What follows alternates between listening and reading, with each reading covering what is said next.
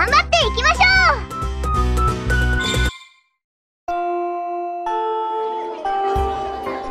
さてお昼ご飯です。おお今日のなるのランチボックスは和風オムレツがメインですか。美味しそうです。みんなちょっといい？あよかった。全員いるわね。おや？今日はサリーちゃんも教室でランチですか？珍しい。そのままご飯食べながらでいいから聞いて。文化祭のうちのクラスの出し物について緊急ミーティングをしたいのよ。緊急？これはトラブルの予感です。ということでうちのクラスの実行委員さんからこれ以上は続けられないという申し出がありました。え？そんな今さ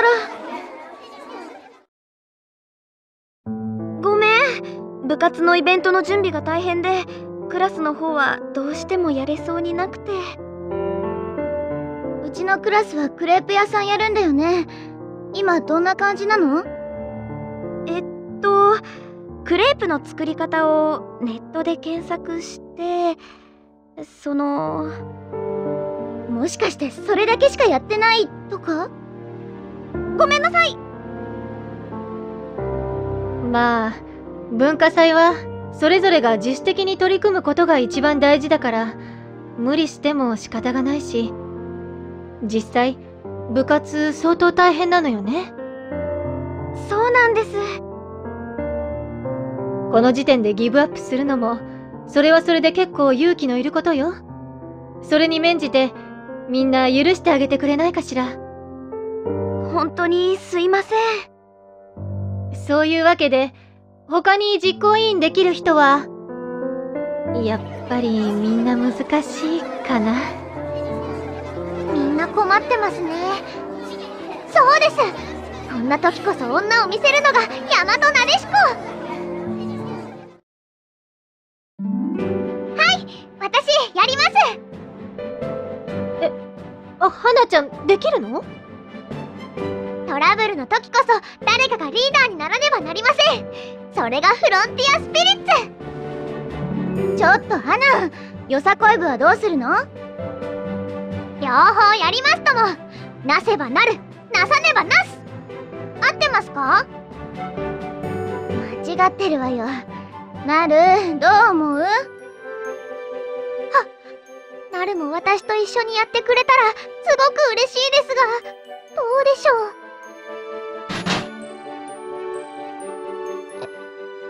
えっと私は花ちゃんがするなら協力したいかなって。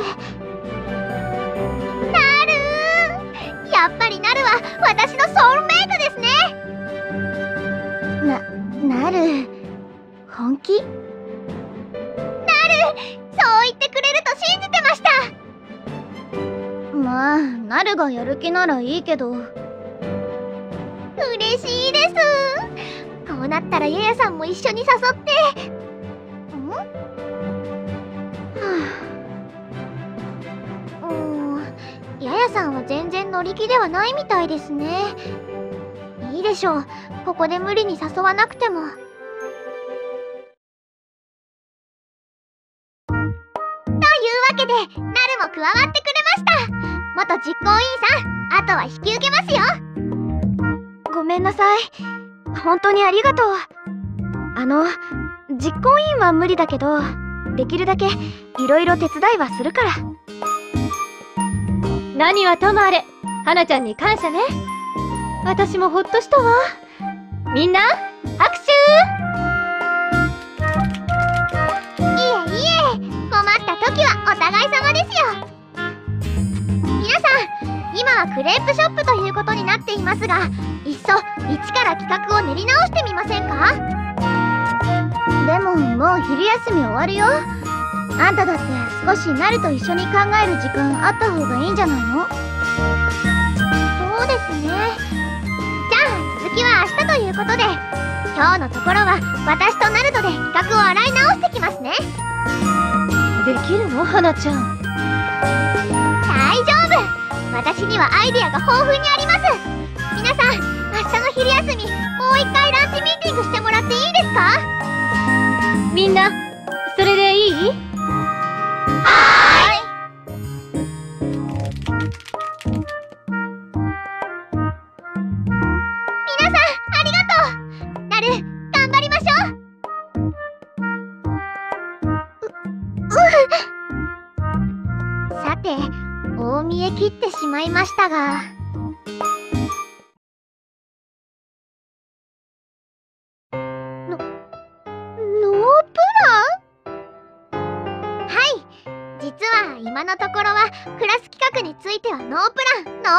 アでした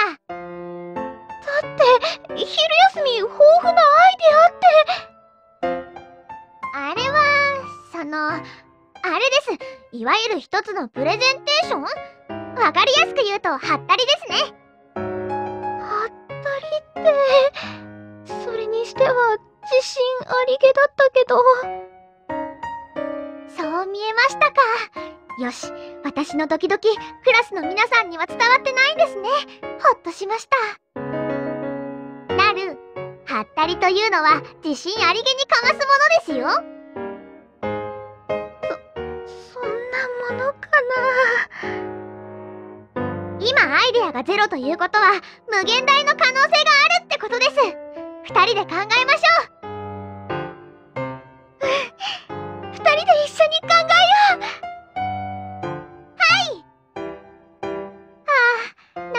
てくれると本当に心強いです。なるは私の栄養ドリンク。さてなるそもそも日本のスクールフェスティバルとはどんなことをするものですか？そ、そこからなんだ。はい。やっぱりアメリカにいた頃と感じが違うので。そうなの。アメリカの文化祭ってどんな感じ？そうですねそもそもクラスみんなで一緒に何かをするという文化はあまりないです。やりたい人が個人でギターを弾いたり歌を歌ったり。ああそんなにみんな自由なんだ。はい。でもこうしてクラス全員で何かをするというのも素敵だと思います。だからこそこれぞ日本という出し物がやりたいんです。これぞ日本？か確かにクレープは外国の食べ物だもんね。うん。今頭の中で電球が光ったような。ちょっと待ってくださいなる。え？今なんて言いました？ええー、っとクレープは外国の食べ物？き、来ました。さすがはなるです。やっぱりなるは私のインスピレーションの源です。それです。食べ物食文化な、何？どうしたの？花ちゃん大丈夫？日本固有の食べ物といえばお蕎麦です。ややさんのレストランで食べた魅惑のヌードル。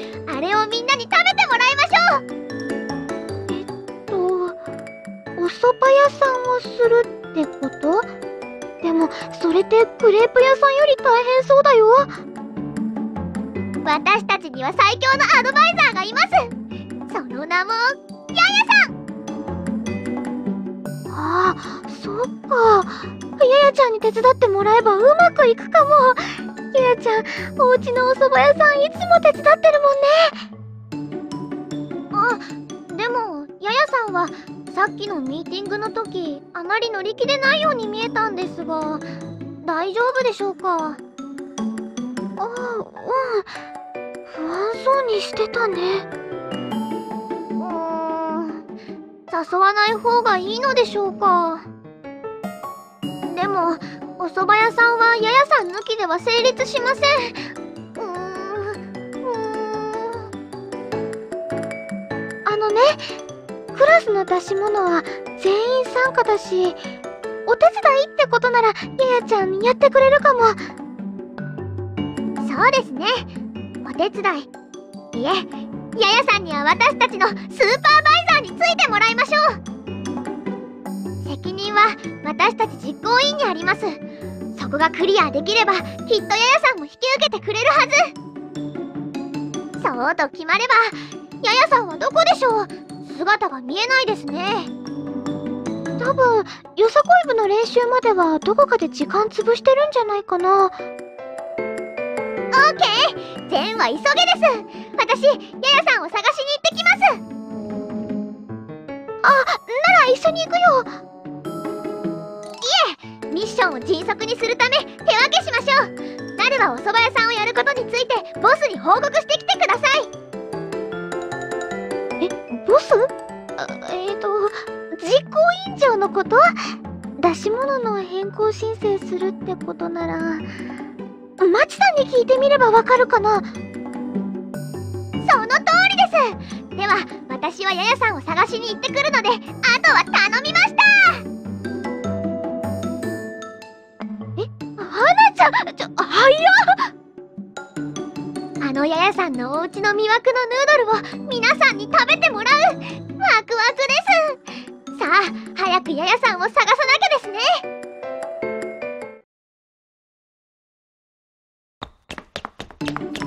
ヤヤさんヤヤさん一体いずこにいるんですか？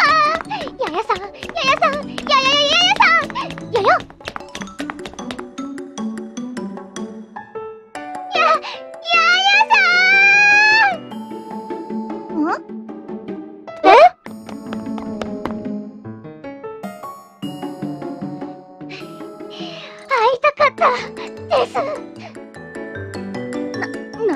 な、なんなのケツを変えてなんかあったの？うわって、っていうか顔近いから。ヤヤさん。私はヤヤさんを探して。いいから落ち着いて。ちょっと離れなさいってもう。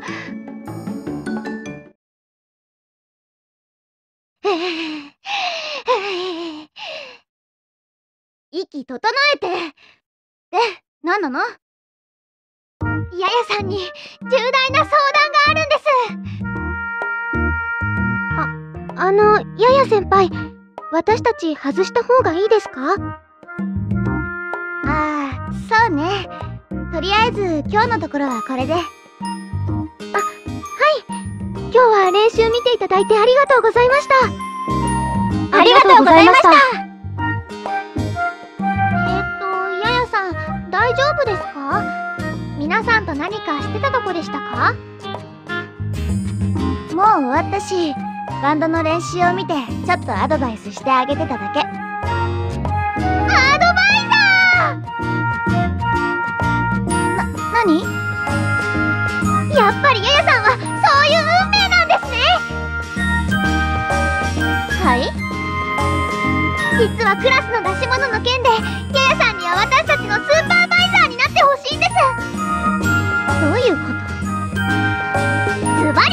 お蕎麦屋さんをするからです。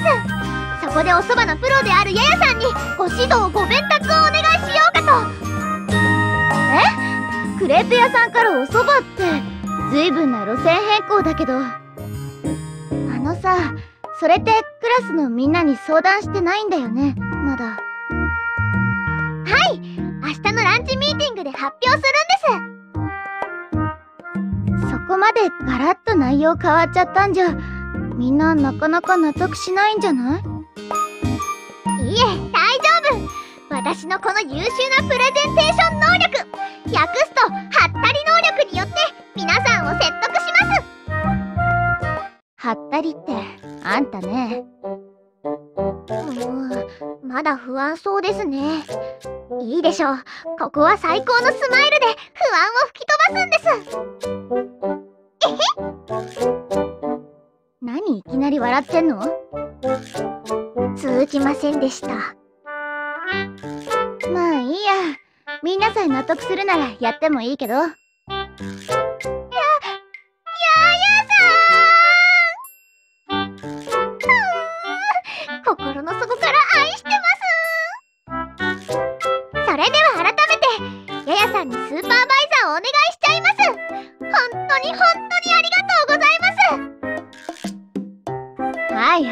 わかったわかった。ひとまずそろそろ部活の方も行かなきゃでしょ。はもうそんな時間ですか？わかりました。ややさん一緒に屋上行きましょう。はいはい。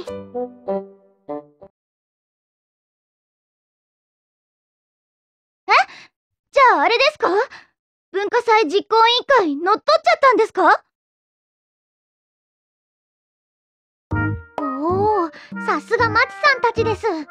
生徒会周辺はやはり陰謀が渦巻いてます。乗っ取ったとかそんな人聞きの悪い。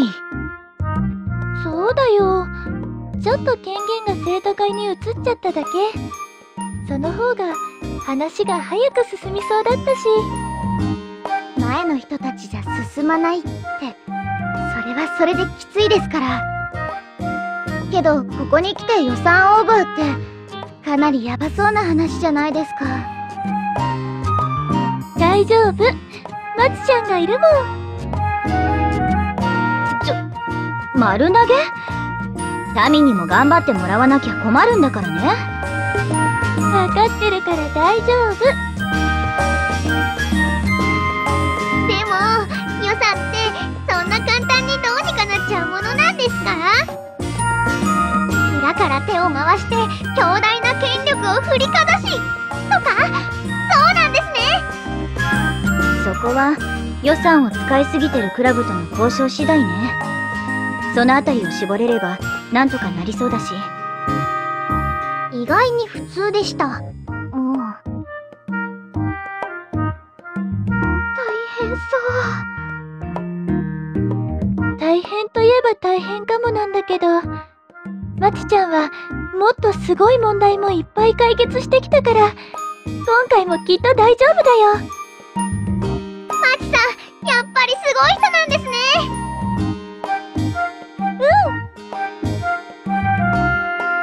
ちょタミ何言って？あ赤くなりました。マチさんもややさんに負けず劣らず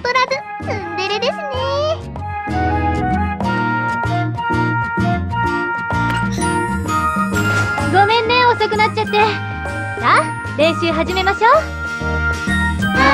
ー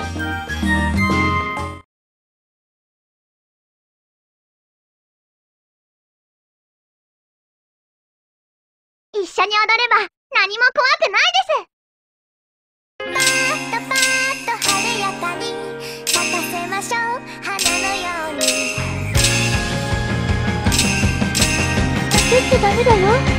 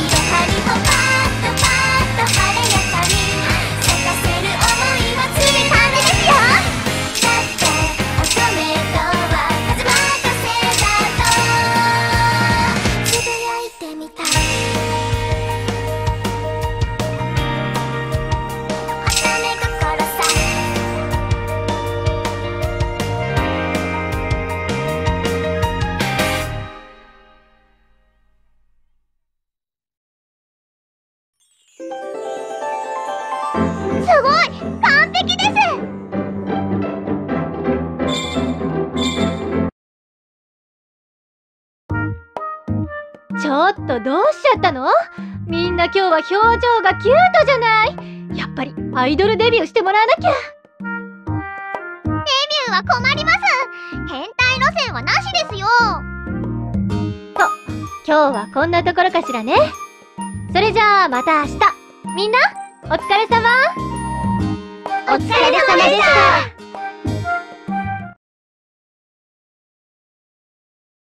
た。さてとタミ行かないと。そうだね。みんな私たち行くね。これからまだ生徒会のお仕事ですか？まあいろいろ背負い込んじゃったからね。自業自得だけどね。それじゃあお先に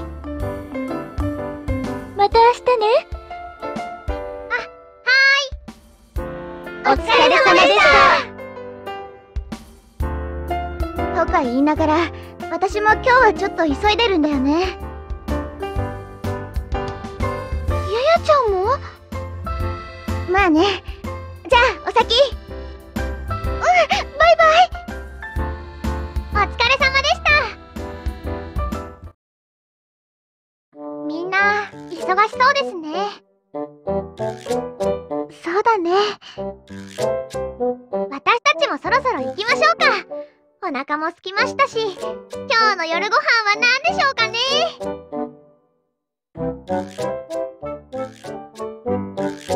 なる？あごめんちょっと考え事してた。何？いえ何でもないですよ。とりあえず帰りましょう。うん。なる何を考え込んでたんでしょう？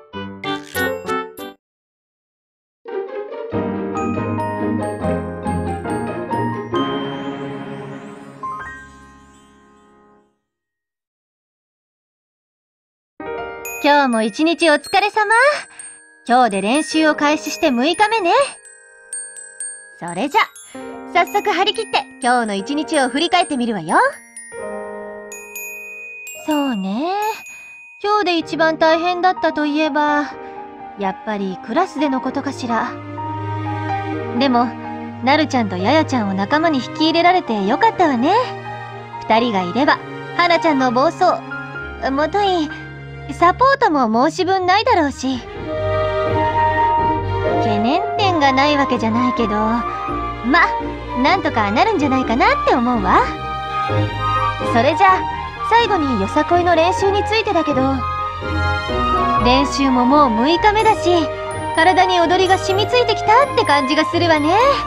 この調子でバンバン頑張りましょう。とこんなとこかしら。そろそろ文化祭も近づいてきて準備で大変だろうけど練習も頑張りましょう。それじゃ今日はここまで。気をつけて帰りなさいね。また明日。